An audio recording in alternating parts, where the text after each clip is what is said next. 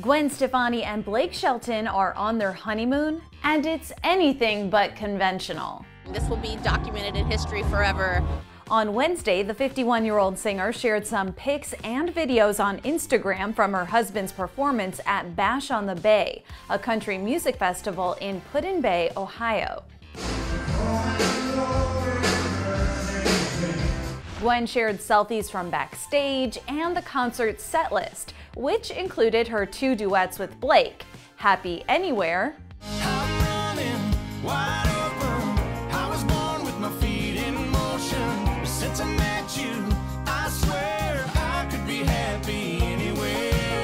and Nobody But You.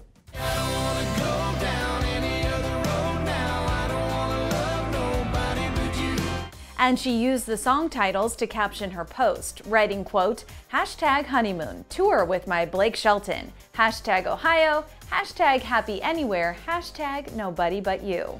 I think I'm his biggest fan. Gwen also shared a few moments from the night on her Insta story. That was me touching your belly button. Including a couple selfies of her outfit, their pup, a pic of her hubby on the bus, her after show look, the moment Blake lost his wallet, their police escort, with their dog, of course, and a ride in a boat. But the Ohio show wasn't the first time they performed together since tying the knot. In July, Blake and Gwen shared the stage at the country crooner's Ole Red Bar in his native Oklahoma. And again, the two sang Happy Anywhere and Nobody But You. Yeah, Gwen Stefani singing in Tishomingo, Oklahoma. What planet is this all of a sudden? This is, what is this world? That was Gwen Shelton.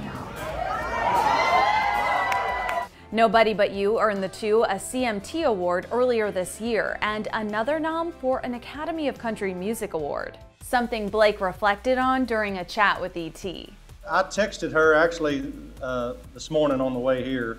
I wish she was here with me, and I said, I can't believe that I get to be nominated for awards with my best friend, you know? Yeah. And it was just one of those moments, it's like, uh, how do you get so blessed and so lucky, you know?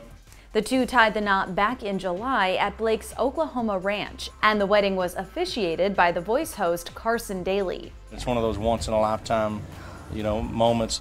A source at the time told ET that the intimate nuptials were a quote fairy tale experience even for the guests. Quote, everyone who attended the ceremony was talking about Gwen and Blake's love for one another.